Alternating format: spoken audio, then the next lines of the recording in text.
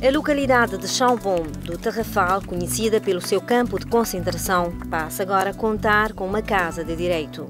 O ato de inauguração foi presidido pelo primeiro-ministro José Maria Neves, acompanhado pelo ministro da Justiça José Carlos Correia e pela ministra adjunta da Saúde Cristina Fontes. Criadas em 2005, as Casas do Direito destinam-se à promoção da cultura de paz e do exercício da cidadania. Os espaços serão pontos de encontro para a comunidade, de divulgação dos direitos humanos e cívicos, de prevenção da violência e estimulação da participação cívica dos cidadãos. Aquela festa ali, aquela inauguração ali é para quentes de mangue. Caso direito, ele é para direito para nós. Para nós poder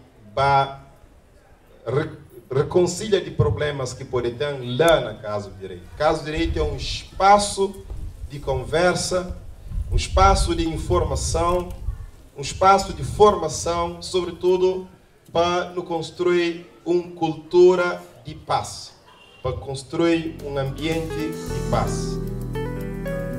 A Casa do Direito de Chambon é a 21ª a ser inaugurada no país sendo a primeira a contar com um centro de apoio à vítima de violência baseada no género. Mas também esse Casa do Direito, ao mesmo tempo que no Satã inaugura um centro formal de, apoio a vítimas de violência. Mas ia fazer do teu, não aprova uma lei no Parlamento, na 2, que entra em vigor em 2011, que te pune severamente e que te mostra que, que lei é que caminho e que no crê também, para além de punição, fazer recuperação de agressores, não sei fazer isso é. E Missa da Papinhoso, para além de Ministra de Saúde, tem eh, responsabilidade de igualdade e equidade de género, como Ministra de Junta, e não tem trabalhado que ela tenta passar essa mensagem de que não tem que proteger eh, vítimas de violência.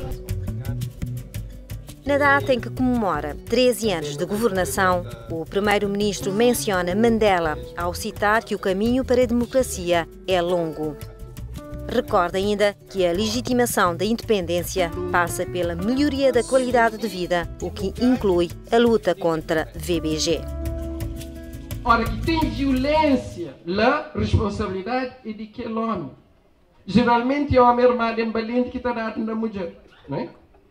É o homem armado em valente que está dando na mulher, porque está consciente de ser responsabilidade, enquanto e, e, e detentor de um dever de promove e de protege sua família e de trata sua companheira como igual. E nosso tudo é igual.